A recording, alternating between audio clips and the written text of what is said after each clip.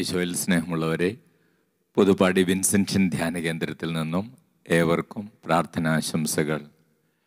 ജൂബിലാത്തെ വചന ശുശ്രൂഷയിലേക്ക് ഏവർക്കും സ്വാഗതം. കർത്താവ് ഇന്ന് നമുക്ക് തരുന്ന തിരുവചന ഭാഗം സാമൂലിന്റെ ഒന്നാം പുസ്തകം ഒന്നാം അധ്യായം പതിമൂന്ന് പതിനാല് തിരുവചനങ്ങൾ. അവൾ ഹൃദയത്തിൽ സംസാരിക്കുകയായിരുന്നു. അധരം മാത്രമേ ചലിച്ചിരുന്നുള്ളൂ. ശബ്ദം പുറത്തു വന്നതുമില്ല. അതിനാൽ അവൾ മദ്യപിച്ചിട്ടുണ്ടെന്ന് ഏലിക്ക് തോന്നി. ഏലി അവളോട് പറഞ്ഞു എത്ര നേരം നീ ഉന്മത്തയായിരിക്കും? നിന്റെ ലഹരി അവസാനിപ്പിക്കുക.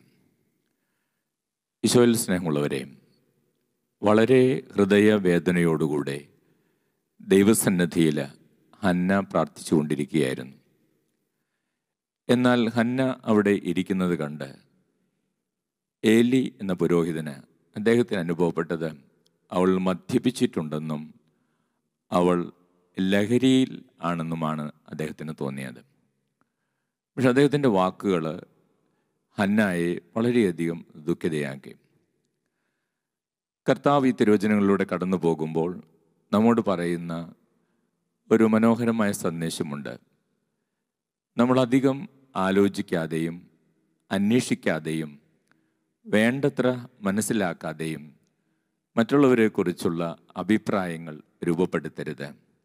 കാരണം അത് പലവിധത്തിലുള്ള അസ്വസ്ഥതകളിലേക്കും ദുഃഖങ്ങളിലേക്കും തകർച്ചകളിലേക്കും ബന്ധ തകർച്ചകളിലേക്കും നമ്മൾ ഓരോരുത്തരെയും നയിക്കും. നമുക്കറിയാം ഈ തിരുവചനങ്ങളിലൂടെ കടന്നു പോകുമ്പോൾ ഹന്നായുടെ അവസ്ഥ എന്തായിരുന്നുവെന്ന് നമുക്കറിയാം. ഹന്ന എൽക്കാന എന്ന പുരോഹിതന്റെ ഭാര്യയായിരുന്നു. അപ്പോൾ ഈ എൽഖാന എന്ന പുരോഹിതന് രണ്ട് ഭാര്യമാരുണ്ടായിരുന്നു. ഹന്നായും പെനീനായും. അങ്ങനെ ഒരു വർഷങ്ങൾ ഒരുമിച്ച് ജീവിച്ചു. പക്ഷേ ഹന്നാക്ക് മക്കളുണ്ടായിരുന്നില്ല. എന്നാൽ പെനീനയ്ക്ക് മക്കളുണ്ടായിരുന്നു. ഓരോ തവണയും ദേവാലയത്തിൽ പോകുമ്പോൾ പ്രത്യേകിച്ച് ആണ്ടിലൊരിക്കൽ ദേവാലയത്തിലേക്ക് പോകുമ്പോൾ ഈ പെനീന എന്ന കുട്ടികളുള്ള അമ്മ ഭാര്യ ഈ ഹന്നായെ മുറിവേൽപ്പിച്ച് സംസാരിക്കുമായിരുന്നു. ആ മുറിവേൽക്കുന്ന സംസാരം അത് വളരെയധികം ഹന്നായെ വേദനിപ്പിച്ചിരുന്നു. അവൾ വളരെയധികം ദുഃഖിതരായിരുന്നു. ചിലപ്പോൾ ഭക്ഷണം കഴിക്കാതെയും സങ്കടപ്പെട്ടും അവൾ ദിവസങ്ങൾ ചെലവഴിക്കുമായിരുന്നു. അങ്ങനെ വലിയൊരു സങ്കടത്തിലൂടെ വേദനയിലൂടെ ഹന്ന കടന്നു പോകുമ്പോഴാണ് ഹന്ന കർത്താവിന്റെ ആലയത്തിൽ വന്ന് കർത്താവിനോട് തന്റെ ഹൃദയവികാര വിചാരങ്ങൾ പങ്കുവെച്ചുകൊണ്ടിരുന്നത്. വിസ്മയമുള്ളവരെ ഹന്ന കടന്നുപോയ അനുഭവത്തെക്കുറിച്ച് നമ്മൾ ധ്യാനിക്കുമ്പോൾ അത് വളരെ സങ്കടകരമാണ്. നമ്മളൊരു വ്യക്തിയുടെ ജീവിതത്തിൽ മറ്റുള്ളവർ എന്തെങ്കിലും പറഞ്ഞ് വേദനിപ്പിക്കുമ്പോൾ അത് ആ വ്യക്തിയുടേതല്ലാത്ത കാരണങ്ങൾ കൊണ്ട് അതല്ലെങ്കിൽ തങ്ങൾക്ക് ചെയ്യാൻ മാറ്റാൻ സാധിക്കാത്ത ചില പ്രത്യേകതകൾ. ഇപ്പോൾ നമ്മുടെ ശരീരത്തിൽ എന്തെങ്കിലും അംഗവൈകല്യങ്ങളുണ്ട്. നമ്മുടെ ശരീരത്തിന്റെ കളറ് നമ്മുടെ നിറം അതല്ലെങ്കിൽ നമ്മുടെ മക്കളില്ലാത്ത അവസ്ഥ ഇങ്ങനെയൊക്കെ ഉള്ളത് അവർക്ക് മാത്രമായിട്ടൊന്നും ചെയ്യാൻ പറ്റുന്നൊരവസ്ഥയല്ല. അങ്ങനെയുള്ള സാഹചര്യങ്ങളിൽ അവരെ കുത്തിമുറിവേൽപ്പിക്കുക വേദനിപ്പിക്കുക സങ്കടപ്പെടുത്തുക അസഹ്യപ്പെടുത്തുക അവർക്കെതിരായിട്ട് സംസാരിക്കുക എന്നൊക്കെ പറയുന്നത് വളരെ മോശമായ കാര്യമാണ്. പക്ഷെ അങ്ങനെ ഒരു അനുഭവത്തിലൂടെയാണ് ഹന്ന കടന്നുപോയിക്കൊണ്ടിരുന്നത്. പെനീന എന്ന സഹോദരി അല്ലെങ്കിൽ ഭാര്യ എൽഖാനയുടെ മറ്റൊരു ഭാര്യ എപ്പോഴും ഹന്നായെ ഇത് പറഞ്ഞ് മക്കളില്ലാത്ത കാര്യം പറഞ്ഞ് കുത്തി മുറിവേൽപ്പിക്കുമായിരുന്നു. അപ്പോൾ ഈ സങ്കടത്തോടുകൂടെയാണ് ഹന്ന ദൈവസന്നതിയിൽ പ്രാർത്ഥിച്ചുകൊണ്ടിരിക്കുന്നത്. അവളുടെ പ്രാർത്ഥന ദൈവത്തിൽ പൂർണമായിട്ടും ലയിച്ചുള്ളൊരു പ്രാർത്ഥനയായിരുന്നു. അവൾ അവളുടെ ഹൃദയത്തിലുള്ള എല്ലാം ദൈവവുമായിട്ട് പങ്കുവെക്കുകയായിരുന്നു പക്ഷേ ഏലി എന്ന പ്രവാചകന് വലിയൊരു അബദ്ധമാണ് സംഭവിച്ചത്. അദ്ദേഹത്തിന് ഹന്ന മദ്യപിച്ചിരിക്കുകയാണെന്ന് തോന്നി. അവൾ ലഹരിയിലാണെന്ന് തോന്നി. എന്നിട്ട് ഹന്നായോട് ചോദിക്കുകയാണ് ഏലി അവളോട് പറഞ്ഞു എത്ര നേരം നീ ഉന്മത്തയായിരിക്കും? നിന്റെ ലഹരി അവസാനിപ്പിക്കുക. അപ്പോൾ സ്നേഹമുള്ളവരെ കർത്താവ് ഈ സംഭവത്തിലൂടെ നമുക്ക് പറഞ്ഞു തരുന്ന ഒരു കാര്യം ഇതാണ്. നമ്മളൊരു കാര്യം കാണുമ്പോൾ അതേക്കുറിച്ച് വേണ്ടത്ര അന്വേഷിക്കാതെയും വേണ്ടതുപോലെ മനസ്സിലാക്കാതെയും പെട്ടെന്ന് നമ്മൾ മറ്റൊരാളെക്കുറിച്ച് അഭിപ്രായങ്ങൾ രൂപപ്പെടുത്തരുത്.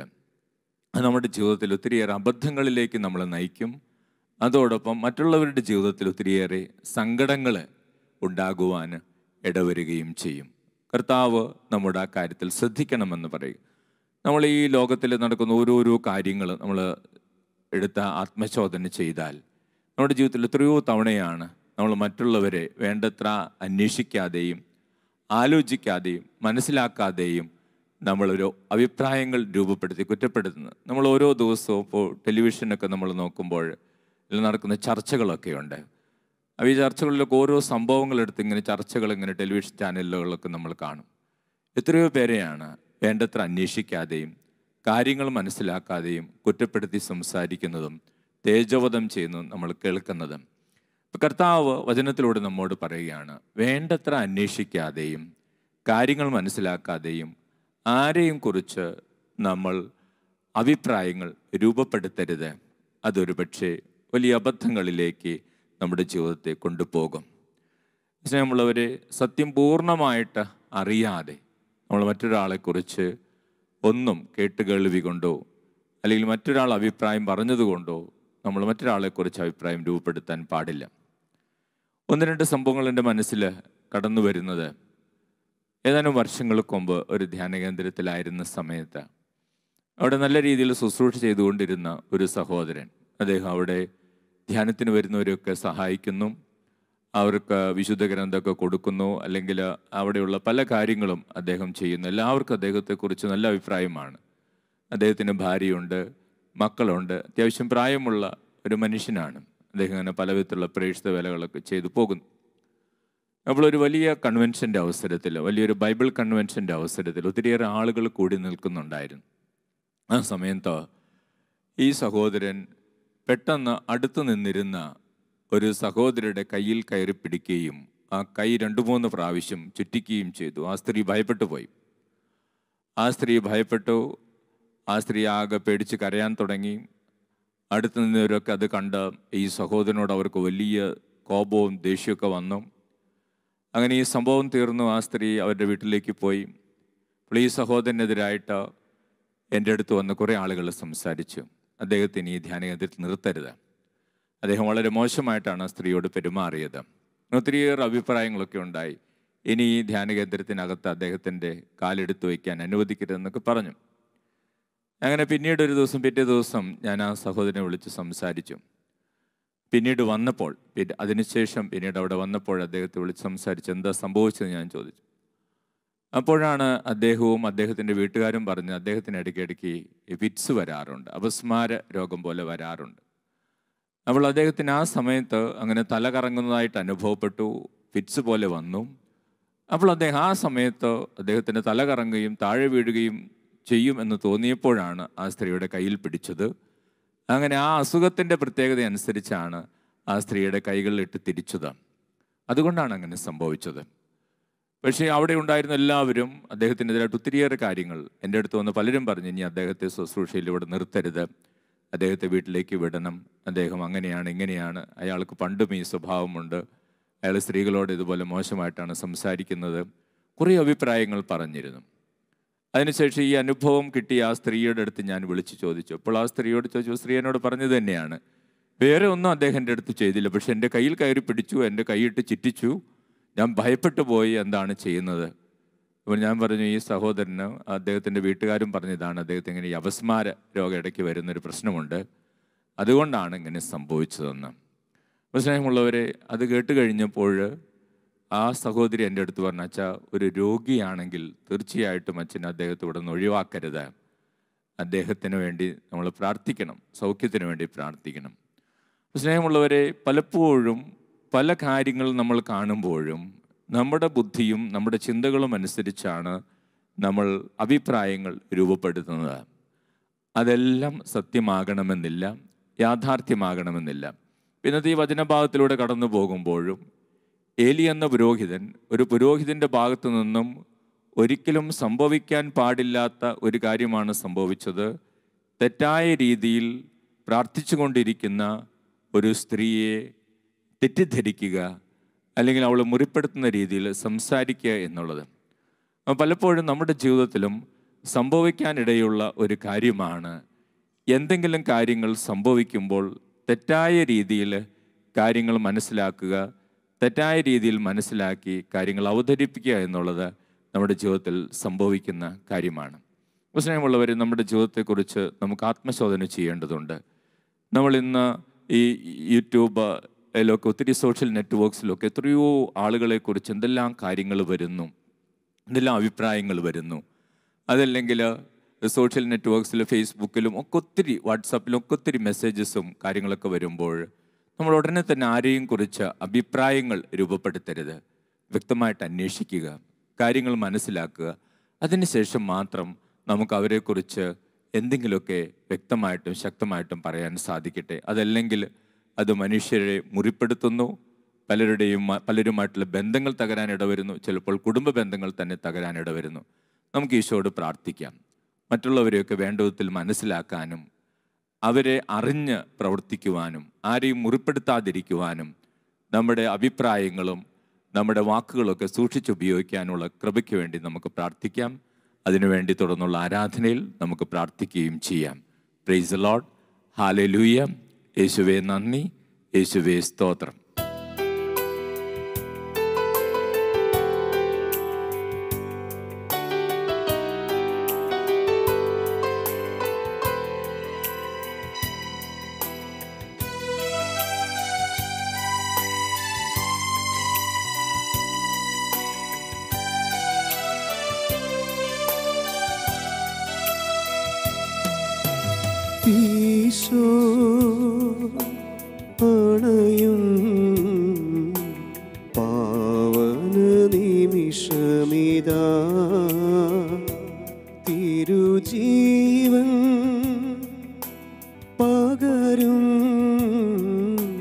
നിർമ്മല നിമിഷമിത. മമനാഥന് സ്തുതി പാടിട. മനവീണകൾ മീട്ടി പാടിടാം. മമനാഥന്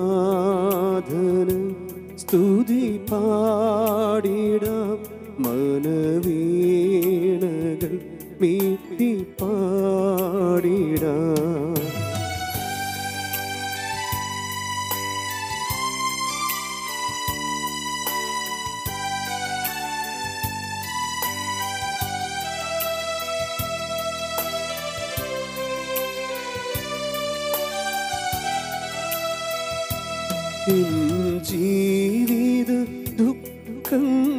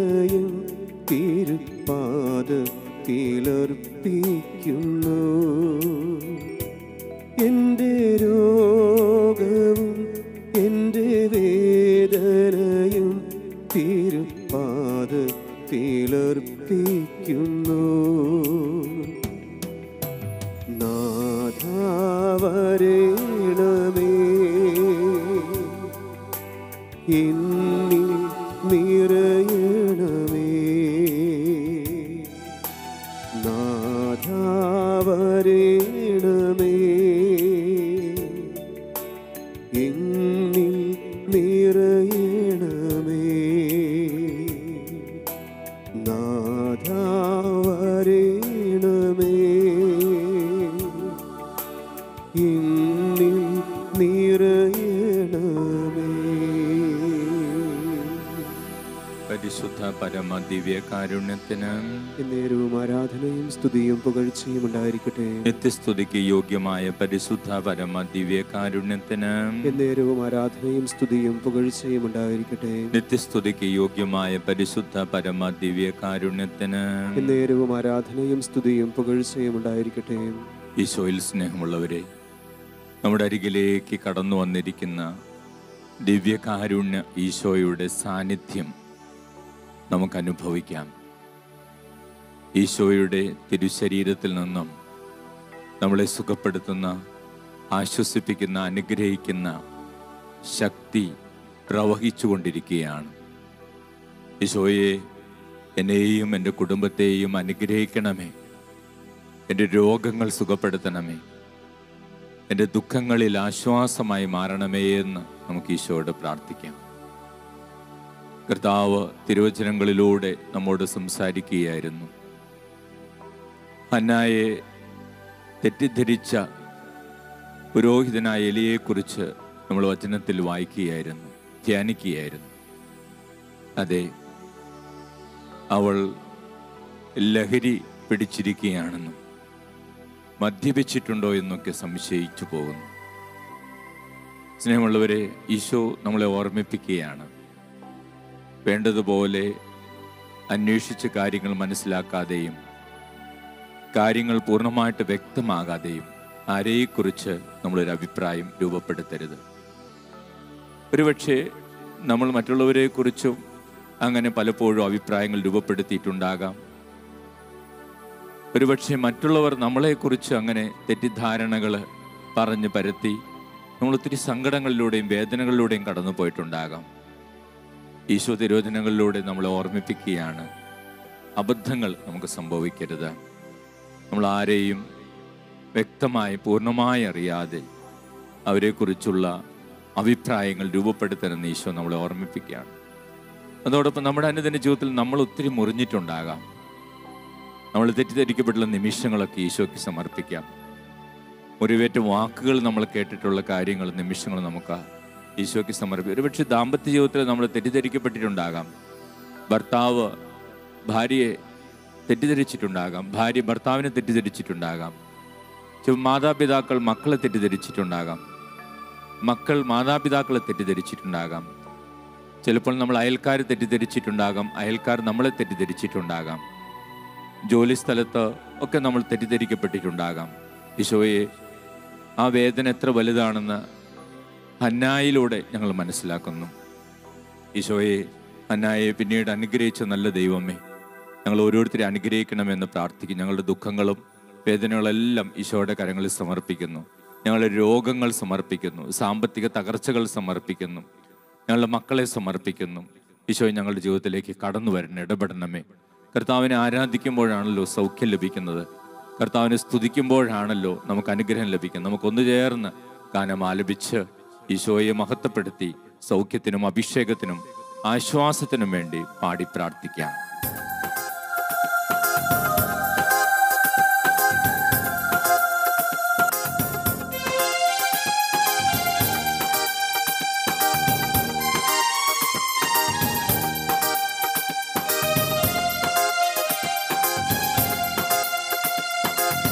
ആരാധിക്കാൻ നമുക്ക് കാരണമുണ്ട്.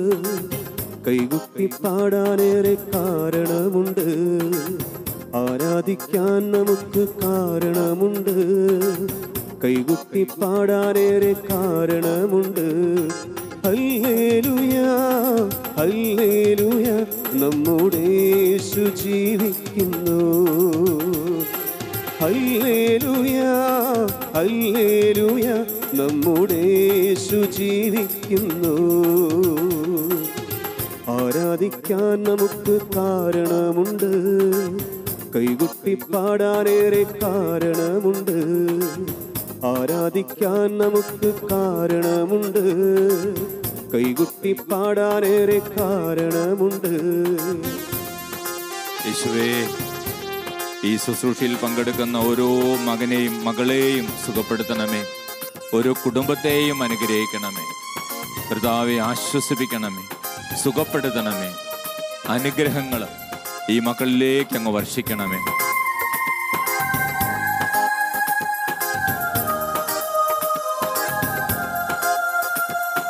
ഉച്ചോരും ഉടയോരും തള്ളിക്കളഞ്ഞു. കുറ്റം മാത്രം പറഞ്ഞ് രസിച്ചപ്പോഴും നീ മാത്രമാണ് എന്നെ ഉയർത്തിയത്.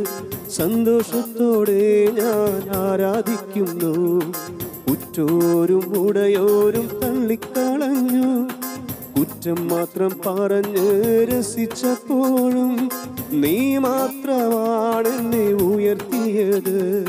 സന്തോഷത്തോടെ ഞാൻ ആരാധിക്കുന്നു. അല്ലേലുയ അല്ലേലുയ നമ്മുടെ ജീവിക്കുന്നു. അല്ലേലൂയ അല്ലേലൂയ നമ്മുടെ യേശു ജീവിക്കുന്നു. അല്ലേലൂയ അല്ലേലൂയ നമ്മുടെ യേശു ജീവിക്കുന്നു ഒന്ന് ചേർന്ന് സ്തുതിക്കാം. ഹല്ലേലൂയ ഹല്ലേലൂയ യേശുവേ ആരാധന ആരാധന ആരാധന. മഹത്വം മഹത്വം മഹത്വം. അനുഗ്രഹിച്ച് പ്രാർത്ഥിക്കുന്നു അനുഗ്രഹിച്ച് പ്രാർത്ഥിക്കുന്നു. ഹലലുയ്യ ഹലലുയ്യ ഹലലുയ്യ യേശുവേ ആരാധന ആരാധന. എല്ലാ മക്കളും അനുഗ്രഹിക്കപ്പെടട്ടെ.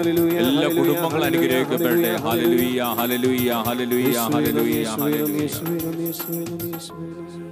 നമുക്കൊരിക്കൽ കൂടെ നമ്മുടെ ഭവനത്തെയും വ്യക്തിപരമായ നിയോഗങ്ങൾ ഈശോയുടെ കരങ്ങളിൽ സമർപ്പിച്ച് ഈശോയുടെ ആശീർവാദം സ്വീകരിക്കുവാനായി നമുക്കൊരുങ്ങാം.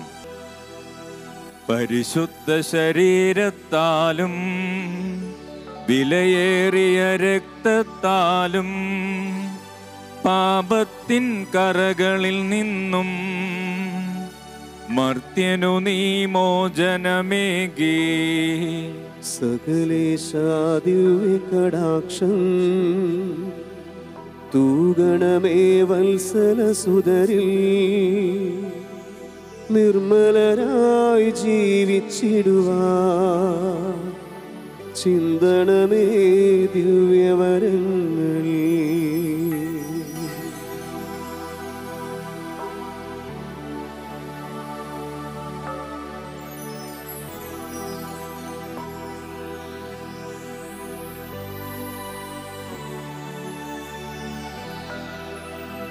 പരിശുദ്ധ പരമ ദിവ്യകാരുണ്യത്തിന് എന്നേരവും ആരാധനയും സ്തുതിയും പുകഴ്ചയും ഉണ്ടായിരിക്കട്ടെ. പരിശുദ്ധ പരമ ദിവ്യകാരുണ്യത്തിന് എന്നേരവും ആരാധനയും സ്തുതിയും പുകഴ്ചയും ഉണ്ടായിരിക്കട്ടെ. പരിശുദ്ധ പരമ ദിവ്യകാരുണ്യത്തിന് എന്നേരവും ആരാധനയും സ്തുതിയും പുകഴ്ചയും ഉണ്ടായിരിക്കട്ടെ.